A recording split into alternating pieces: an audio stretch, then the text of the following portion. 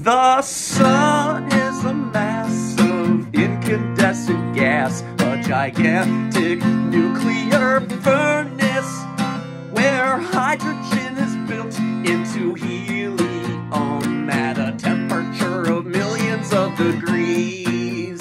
Yo ho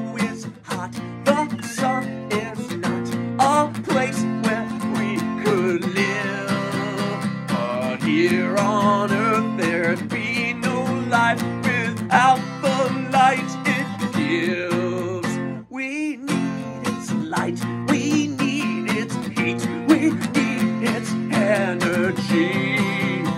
Without the sun, without a doubt, there'd be no you and me.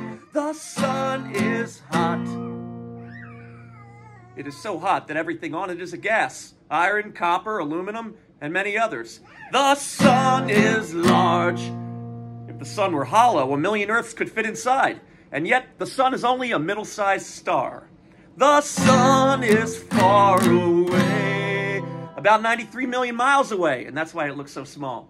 And even when it's out of sight, the sun shines night and day.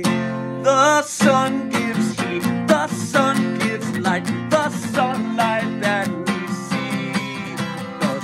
sunlight comes from our own sun's atomic energy. Scientists have found that the sun is a huge atom smashing machine. The heat and light of the sun come from the nuclear reactions of hydrogen, carbon, nitrogen, and helium. The sun is a mass of incandescent gas, a gigantic nuclear furnace